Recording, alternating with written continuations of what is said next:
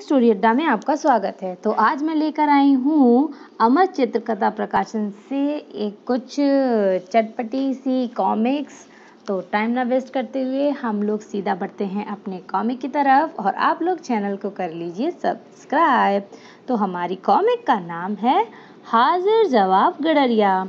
तो यहाँ शब्द है मार्गी शास्त्री के। चित्रांकन है बीवी हलवे। किसी जमाने में इंग्लैंड में जॉन नाम का राजा राज्य करता था, एक दिन उसके दरबार में। महाराज, हमने सुना है कि कैटरबरी का मठाधीश बहुत ही ठाट बाट से रहता है, हर तरफ़ इसी बात की चर्चा है। तुम्हारा मतलब है, वह हमसे भी ज़्यादा शान से रहता है। गुस्ताखी माफ़ हो महाराज, पर सच्चाई यही है। मखमली कोट पतलून पहने सोने की जंजीरों, बटनों से सजे सेवक चौबीसों घंटे उसके हुक्म बजाते हैं और हाथ बांधे खड़े रहते हैं। वह रोज न जाने कितने मेहमानों को सोने चांदी के थालों में बढ़िया से बढ़िया भोजन खिलाता है। बस बस, बाकी सब हम खुद पता कर लेंगे। उसे फ़ौरन हाजिर किया जाए। जल्द ही मठाधीश जी, हमने सुना है आपका घर सजदज में हमारे महल को भी मात देता है। आप हमसे भी ज़्यादा ठाट से रहते हैं। क्या आपको मालूम नहीं, अपने राजा से ज़्यादा शान से रहना राजद्रोह है। आपको इसकी सजा ज़रूर मिलेगी। मैं मानता हूँ, मुझे जरा शान से रहने की आदत है, पर यह सब मैं अपने गाढ़े पसीने की कमाई से करता हूँ महाराज। आपकी यह हरकत माफ़ नहीं की जा सकती। आपको मृत्यु दंड दिया जाएगा। आपकी जान बच सकती है। बशर्ते बशर्ते हम्म बशर्ते हम जो तीन सवाल आपसे पूछें, उनके सही जवाब आपको हमें देने होंगे। हमारा पहला सवाल है, हमारा क्या मोल है? और दूसरा सवाल है, घोड़े पर सवार होकर दुनिया का एक चक्कर लगाने में कितना वक्त लगेगा? और तीसरा, आखिरी सवाल, हम क्या सोच रहे हैं? ये सवाल नहीं, ये तो मुझे फंसाने के शिकंजे हैं। महाराज, आपके इन चतुराई भरे सवालों के जवाब देने के लिए मुझे कुछ वक्त चाहिए। कृपया करके तीन हफ़्ते की मोहलत दे दीजिए। ठीक है, पर अगर तीन हफ्तों में हमें अपने सवालों के जवाब नहीं मिले तो आपको बख्शा नहीं जाएगा। शुक्रिया, गहराज, कितने दयालु हैं आप। मठाधीश लौट पड़े मैं जितने भी सियाने आदमियों को जानता हूँ, सबसे सलाह मशवरा करूँगा, वे ज़रूर हर सवाल का अच्छे से अच्छा जवाब सुझा सकेंगे। पर सयाने से सयाना आदमी भी उन सवालों को सुनकर चक्कर में पड़ गया। सबके सब उनके उत्तर बता पाने में असमर्थ रहे। दिन बीतते गए और आखिर तीन हफ्तों की मोहलत खत्म होने के सिर्फ़ तीन दिन बाकी रह गए। उसी दिन जब उदास मठाधीश एक गाँव में से गुजर रहा था नमस्कार मठाधीश जी, आपने महाराज जॉन की ओर से कोई खबर? अरे, मेरा गड़ड़िया साइमन। बुरी खबर है भाई। अगर अगले दो दिन में महाराज से पूछे तीन सवालों के उत्तर नहीं दे सका तो मुझे मौत के घाट उतार दिया जाएगा। कौन से सवाल? मठाधीश, वे तीनों सवाल दोहरा दिए, जो 24 घंटे उसके सिर पर तलवार की तरह लटके रहते थे। बुद्धिमान से बुद्धिमान आदमी भी मेरी मदद नहीं कर सके। अब मेरी मौत निश्चित है। हम्म आप बेफिक्र रहिए मठाधीश जी जहाँ बुद्धिमान हार गए, वहाँ शायद मेरा जैसा मूर्ख आपकी कुछ मदद कर सके। तुम? कभी कभी खोटा सिक्का भी काम आ जाता है मठाधीश जी आप सिर्फ़ अपना घोड़ा, अपने नौकर और अपने कपड़े कुछ समय के लिए मुझे दे दीजिए। आपकी जगह लंदन मैं जाऊँगा। मेरा भेष बनाकर? जी हाँ। आप क्या आपने गौर नहीं किया? आपका और मेरा कद बराबर है और सूरत और आवाज़ भी आपसे काफ़ी मिलती है। अब मैं आपके वस्त्र और आभूषण पहन लूँगा। आपके आदमी मेरे साथ होंगे तब तो आप में और मुझमें कोई फ़र्क नहीं कर पाएगा।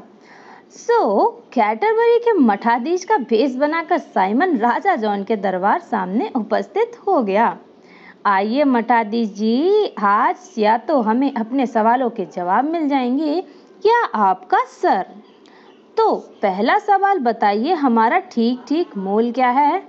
हम्म हम सबके उद्धारकर्ता ईसा मसीह को एक बेवफा ने चांदी के तीस सिक्कों से बेच दिया था।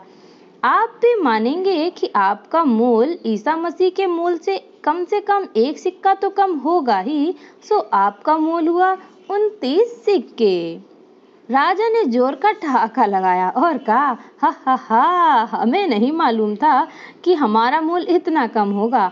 अच्छा अब यह बताइए कि हमें घोड़े पर सवार होकर दुनिया का चक्कर लगाने में कितना समय लगेगा? महाराज, आप सुबह सूरज के साथ उठिए और सूरज के साथ अपना घोड़ा अगली सुबह तक दौड़ाकर इस तरह आपको दुनिया का चक्कर लगाने में सिर्फ़ चौबीस घंटे लगेंगे। बहुत खूब बहुत खूब। पर अभी सबसे मुश्किल सवाल बाकी है। बताइए हम क्या सोच रहे हैं? आप सोच रहे हैं कि मैं कैडबरी का मठाधीश आपके सामने खड़ा हूँ, पर मैं वह नहीं हूँ। मैं तो उनका गड़रिया हूँ। आपसे उनके लिए और अपने लिए क्षमादान की प्रार्थना करने आया हूँ। ओ हो हो हो, भाई, कमाल है। लगता है अब तो तुम्हें ही मठाधीश का पद सौंपना पड़ेगा। नहीं नहीं, महाराज। बंदे के लिए तो काला अक्षर भैंस बराबर है। पर तुम्हें अपनी इस चतुराई के लिए इनाम तो मिलना ही चाहिए। ज़िंदगी भर तुम्हें हमारे खजाने से खर्चा मिलता रहेगा। और मठाधीश जी से कहना कि तुम्हारी हाजिर जवाबी ने उनकी जान बचा दी है। हा मज़ा आ गया। नेक्स्ट कॉमिक है, मेहमान का स्वागत। शब्द हैं आदिल रंगून वाला और चित्र राम वायरकर के। सुपुंदी का मालिक अपने भाई को लेने हवाई अड्डे गया, जो पूरे पंद्रह साल बाद अमेरिका से लौटा था। संयोग से उस दिन होली थी। हम्म कहीं कोई रंग वंग तो नहीं डाल देगा ना मेरे कपड़ों पर। बेफिक्र रहिए भैया, मैं आपको पूरी हिफाजत से घर ले जाऊँगा। कहीं कोई मेरे कपड़ों पर गुलाल न डाल दे, बेचारा। और सचमुच, लीजिए पहुँच गए आप, अब आप पर रंग की एक बूंद भी नहीं पड़ी। सचमुच यकीन नहीं हो रहा। लेकिन यह जानकर खुशी हो रही है कि यह सच है। अब आप पूरा दिन घर में रहिए और मेरा नौकर आपका पूरा ख्याल रखेगा। लीजिए वह आ गया आपका स्वागत है बड़े मालिक। ओहो, होली है भाई, होली। पूरा दिन बचकर नौकर ने ही कलर कर दिया। तार और बीमार। मास्टर महबूब बशीर मार्फत श्री सत्तार। मकान नंबर टेन सेवेंटी वन। इन्होंने तो अपना पूरा एड्रेस दिया है भाई। चित्र राम वायरकर। तो भाई, क्या बात है आंटी? ओह, मेरे पिताजी सख्त बीमार हैं, वे बिस्तर पर पड़े हैं। मुझे फ़ौरन गाँव जाना होगा। हम्म ये कहाँ जा रही है? अपने गाँव उनके पिता ने तार देकर सूचित किया है कि वे सख्त बीमार हैं। अगर वे इतने बीमार हैं तो उन्होंने डाक खाने जाकर तार कैसे दिया? हाँ इसकी बात भी गौर करने लायक है। आहा, मैं समझ गया। आंटी के पिताजी ने पहले दिया होगा, तार फिर बीमार पड़ गए होंगे। आहा क्या दिमाग लगाया है? बहादुर हरक्यूलिस। हरक्यूलिस ने कोई गंभीर अपराध हो गया था। दंड देने के लिए उसे टायरेंस के दुष्ट राजा यूरिस्थियस के सामने पेश किया गया। हम्म मुझे बताया गया है, आप मेरे अपराध के लिए उपयुक्त प्रायश्चित सुझा सकते हैं। ठीक ही बताया गया है। दुनिया का सबसे शक्तिशाली मनुष्य हरक्यूलिस मेरे हुक्म का इंतज़ार कर रहा है। कितने आनंद की बात है। हम्म तुम्हें हमें नीमिया के सिंह से छुटकारा दिलाना होगा। नीमिया पर्वत पर विचरने वाला यह सिंह साधारण सिंहों से तीन गुना विशाल है। उसके कारण आसपास के देहात वीरान हो गए हैं। जाओ और हमें उस दरिंदे से छुटकारा दिलाओ। कई दिन के सफ़र के बाद हरक्यूलिस नीमिया पर्वत पर पहुँच गया। सिंह का शिकार बने लोगों का हड्डियाँ सचमुच बड़ा ही खतरनाक जानवर मालूम पड़ता है। अचानक उसकी नज़र एक आदमी पर पड़ी जो वहाँ बैठा आग ताप रहा था। जब वह उनके पास पहुँचा, मेरा नाम मोलोरकस है। क्या तुम तुम कौन हो? यहाँ क्या खोज रही हो? यहाँ मौत के सिवा कुछ नहीं मिलता मेरे भाई। मैं हरक्यूलिस हूँ। नीमिया के उस नरबक्षी सिंह की मौत को घाट उतारने आया हूँ। क्या आप मुझे बता सकेंगे वह कहाँ मिलेगा? तुमने मेरे बहादुर बेटे की याद ताज़ा कर दी। वह भी उसी सिंह से लड़ते हुए अपनी जान गंवा बैठा। काश मुझे उसकी हड्डियाँ भी मिल जाती। कम से कम मैं उन्हें दफना कर उसका उचित ढंग से अंतिम संस्कार तो कर देता। बाबा, आपको अपने बेटे की अस्थियाँ ज़रूर मिलेंगी। अब उस सिंह की आखिरी घड़ी दूर नहीं। आप मुझे सिर्फ़ उसकी मान दिखा दीजिए। अगर तुम्हारी यही जिद है तो ठीक है। अगली सुबह दोनों चल पड़े और कुछ देर बाद मैं बेहद थक गया हूँ और आगे चल पाना मेरी बात, मेरे बस की बात नहीं। आप यहीं आराम कीजिए, मैं अकेला ही आगे चला जाऊँगा। हरक्यूलिस आगे बढ़ गया। चलते चलते उसे एक गुफा नज़र आई, जहाँ इंसानी हड्डियों के ढेर लगे थे। वह दरिंदा अपनी गुफा में नहीं है, वह रहा मज़े से धूप सेक रहा है। ये रहा। सिंह से मुकाबले के लिए बेताब हरक्यूलिस को ज़्यादा इंतज़ार नहीं करना पड़ा। सिंह उठकर खड़ा हो गया और जलती हुई निगाहों से उसे ही घूर रहा था। सचमुच, बड़ा भीम काय है। और ये क्या?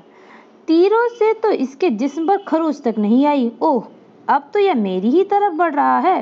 हरक्यूलिस ने अपने हाथ को मज़बूत सट्टे से कसकर पकड़ लिया। जैसे ही शेर उस पर झपटा, उसने पूरी ताकत से सोटा, उस पर घुमाकर ते मारा, लेकिन वो भी टूट गया। अब तो मेरे पास कोई हथियार भी बाकी नहीं है। ओहो, दोनों में लड़ाई हुई। बचाव का एक ही रास्ता है, इसका गला घोट दूँ। उफ, इसकी गर्दन दो फौलाद की बनी मालूम पड़ती है। नीमिया पर्वत की घाटियों पर खौफनाक सिंह की भयंकर दहाड़ों से गूंज उठी। बेचारा गया काम से। मुझे बेचारे को सिंह से लड़ने जाने से रोकना चाहिए था। सिंह की दहाड़ तेज और तेज हो गई और फिर अचानक सिंह खामोश हो गया। ज़रूर उस बेचारे को खा रहा होगा। एक और आदमी हो गया उसका शिकार। अरे बाबा, आप यहाँ हैं? ऊपर आइए ना। तो तुम तुम ज़िंदा हो? आपको ताजुब हुआ क्या? फिर तो मुझे यकीन है यूरिथियस को भी हैरानी होगी। हरक्यूलिस का अनुमान सही निकला। जब वह लंबे लंबे डग भरता हुआ महल में पहुँचा तो यूरिथियस भय से पीला पड़ गया और झूठी प्रसन्नता दिखाते हुए खीस निपोड़ने लगा। यह इतना बहादुर होगा, मैंने सोचा भी नहीं था। बाद में हरक्यूलिस ने सिंह की खाल को अपने पहनने के लिए कुर्ती बनवाई। इस मज़बूत पहरावे से आगे चलकर उसने बड़े बड़े कारनामों को अंजाम दिया। हम्म माप के अनुसार, मणिपुर से टी नैन्सी की भेजी कहानी पर यह आधारित है और चित्र है राम वायकर के सुपुत्र के मालिक ने उसे एक जोड़ी जूते खरीदने भेजा। उन्होंने छह नंबर के माप के जूते खरीदने को कहा था, लेकिन उस नंबर के माप के जूते मिल ही नहीं रहे। ओह, तरकीब। इन्हें लपेट दीजिए। लीजिए मालिक, बहुत वक्त लगा दिया भाई। हैं, ये जूते तो बहुत बड़े हैं। नंबर नौ, बेवकूफ़। अब तुम्हारी समझ में आया कि मेरे ठीक क्यों नहीं आ रहे? लेकिन मालिक, आपने इसे गलत तरह से पकड़ रखा है। इसे इस तरह पकड़िए और फिर घुमाकर इसे पहनिए, तब बिल्कुल फिट आएँगे। तब नौ नंबर नंबर छह बन जाएगा। हुक्म का गुलाम। शब्द प्रसाद अय्यर और चित्र हैं राम वायरकर। मोहन जरा बेवकूफ़ था। वह नामी कंजूस सेठ धनीलाल के घर में नौकर था। मोहन, ले इत्र की शीशी पकड़ और उसे रख दे। उस एक मिनट सेठानी जी आहा, बारिश भी कैसी गजब की चीज़ है। इसे घंटों देखता रहूँ, फिर भी मन नहीं भरता। उसी वक्त सेठ धनीलाल कमरे में आ गए। धनीलाल अपने नौकर को हरदम काम में जुटे हुए देखना पसंद करते थे। हम्म जरा देखो तो इस लड़के को। मौज कर रहा है। फ़ौरन इसे किसी काम में लगाना होगा। मोहन, बड़ा आलसी है रे तू। इस तरह यहाँ खड़ा खड़ा बारिश को मत घूर। जा वह बड़ा पत्थर उठाकर घर में ले आ। जी मालिक। और जब वह पत्थर अंदर उठा लाया तो इससे कहूँगा, वापस उसी जगह रखा। ही ही ही ही। अजी सुनते हो? जरा यहाँ आओ। बोलो भगवान, क्या कह रही हो? ले आया। इसे कहाँ रखूँ? शायद इत्र की शीशी के बारे में पूछ रहा है। श्रृंगार मेज पर रख दे। हो इस पहाड़ जैसे पत्थर को रखने की यह भी कोई जगह है भला? फिर भी ये जैसा कहेंगी, वैसा ही करना पड़ेगा। क्या हुआ? हाय, मेरी नई श्रृंगार में चकनाचूर हो गई। मोहन के बच्चे, तेरी खाल उधेड़ दूँगा। पर मालिक, मैं तो सिर्फ़ हुक्म बजा रहा था। हुक्म? कैसा हुक्म? मालिक ने मुझे पत्थर घर में लाने का हुक्म दिया था और आपने उसे श्रृंगार की मेज पर रखने का हुक्म दिया था और मैंने वैसा ही किया। बेवकूफ़, मेरा मतलब इत्र की शीशी से था। और सुनो जी, तुम मेरे लिए नई श्रृंगार मेज लानी होगी, लेकिन उसमें तो बहुत खर्चा आ जाएगा। मेरी बला से मुझे नई श्रृंगार मेज चाहिए। यह श्रृंगार मेज तुम्हारी ही वजह से तो टूटी है, क्योंकि तुम नौकरों को सांस लेने की फुर्सत ही नहीं देती। आगे से नौकरों को थोड़ा आराम करने का भी वक्त दिया करो, समझे? हाँ भगवान, समझ गया। उस दिन सेठ धनीराम को अच्छा सबक मिला।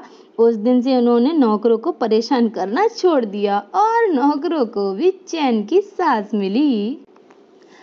बुद्धू राम का दूध। तो मास्टर प्रशांत एल कामत के भेजे सुझाव पर आधारित पता द्वारा मतलब एड्रेस भी दिया है और यहाँ चित्र हैं बी बी हलवे के। बुद्धू राम दूध बेचने शहर गया। ओहो, अभी तो दुकान खुली ही नहीं, इंतज़ार करना पड़ेगा। और कुछ देर बाद, अरे! कुत्ता दूध पी गया? तू मेरा आधे दूध पी गया। चल निकाल इसके पैसे। हम्म लगता है इस वक्त इसके पास पैसे नहीं हैं और ये मुझे बताने की कोशिश कर रहा है, पैसे कल दूँगा। अच्छी बात है, कल दे देना। अगले दिन कुत्ता फिर से बुद्धू राम के कलसे में से थोड़ा दूध पी गया और फिर अच्छा देख, मैं आज फिर तुझे उधार दिए देता हूँ, लेकिन कल ज़रूर पूरे पैसे चुका देना, समझा? तीसरे दिन भी कुत्ते ने चक कर दूध पिया और जब बुद्धू राम ने पैसे मांगे, क्या? आज भी तू पैसे नहीं दे सकता? और कुत्ता भौ भौ करने लगा। धोखेबाज और यहाँ, ओ, कुत्ता, लगता है खौफनाक है। उसका मालिक उसे मेरी तरफ़ ही ला रहा है। और भागते ही मेरी खैरियत है भाई, भागो भागो। चोर रुपयों की थैली वहीं फेंक कर सिर पर रखकर भागा पैर।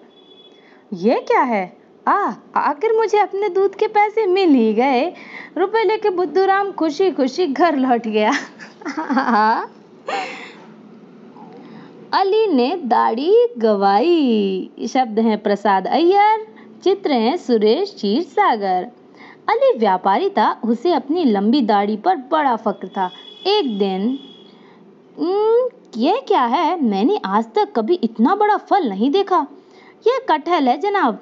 एक दे दो। रुकिए जनाब, मैं उसे यह बताना तो भूल ही गया, इसे काटते वक्त हाथों पर तेल ज़रूर मल लेना, वरना इसका दूध, ओह, भाड़ में जाए। मुझे क्या अपने आप मालूम कर लेगा? अली ने घर पहुंचकर कटहल काटा। वाह, कितना मीठा है, बेहद स्वादिष्ट है। आहा, सचमुच मज़ा आ गया। अब इसका दूध दो डालूं। पर जब उसने दूध साफ़ करने की कोशिश की, अरे यह तो साफ़ ही नहीं होता। मेरी ताड़ी पर भी लग गया। सादे पानी से भी यह नहीं छूटेगा। साबुन इस्तेमाल करके देखता हूँ। साबुन से भी काम नहीं बना। पानी में कुछ सोडा मिलाकर उससे धोकर देखूँ, पर कटहल की चिपचिपाहट, दूध और चिपचिपा हो गया। हम्म मैं इसे अपनी दाढ़ी से छुड़ा कर ही दम लूँगा। चाहे जो हो जाए। हैं? दाढ़ी उखड़ कर हाथ में आ गई। परेशान अली उस रात चिपचिपी दाढ़ी लिए ही सो गया और सुबह होने पर, आह, ओह, ये क्या हुआ? घर तकिया तो दाढ़ी से चिपक गया। उफ, अब मुझे और बर्दाश्त नहीं होता। बाज़ार में जाकर देखता हूँ, शायद वहाँ कोई मेरी मदद कर सके। अरे, ध्यान से, अपनी दाढ़ी अपने पास रखो। ओ दूसरों से चिपकने लगी दाढ़ी। मैं क्या करूँ? अपनी दाढ़ी से चिपचिपाहट दूध कैसे छुटाऊं आह सूझ गई तरकीब दाढ़ी पर राख मल लेता हूँ, उससे दूध सूख जाएगा, फिर मैं उसे तो डालूँगा। वाह वाह, अली ने जल्दी अपनी दाढ़ी पर राख छिड़की। वाह, मैं भी कितना अकलमंद हूँ। अल्लाह, इसकी हालत तो और भी खराब हो गई। हाय, मेरी खूबसूरत दाढ़ी का सत्यानाश हो गया। तुम इसे मुड़वा क्यों नहीं देते? अमीर मेरे दोस्त, क्या कहा तुमने? इसे मुड़वा डालो, साफ़ होने पर बस यही एक तरीका है। इसे मुड़वा दूँ? मेरी खूबसूरत दाढ़ी? ओहो, मैं इससे कैसे जुदा हो सकता हूँ, आमिर? और मेरी दाढ़ी की वजह से मेरी इज़्ज़त करते हैं लोग। जलसों में मुझे पहले बोलने के लिए कहा जाता है। गली में लोग मुझे रास्ता देने के लिए एक और हट जाते हैं। दाढ़ी के बिना भला कौन मेरी इज़्ज़त करेगा? पर अगर यह चिपचिपी दाढ़ी लिए फिरोगे तो तुम्हारी इज़्ज़त कौन करेगा? सब तुम्हारा मक्खल उड़ाएँगे। तुम्हें यह कुर्बानी देनी ही होगी। क्या मुसीबत है। अली को दाढ़ी गंवानी पड़ी। उसके बाद जब भी वह किसी भी बगैर दाढ़ी वाले आदमी को देखता तो उससे हमदर्दी जताते हुए कहता तो मेरे दोस्त, शायद तुमने भी कटहल खाया था? तो बताइए, आप लोगों को ये कॉमेडी कॉमिक कैसी लगी? इसकी छोटी छोटी कॉमिक्स हैं, लेकिन मुझको ये पढ़कर बहुत ही मज़ा आया। आप लोग अपने कमेंट में बताइए, आपको ये कॉमिक कैसी लगी? और हमारे चैनल को कर लीजिए सब्सक्राइब। Thank you.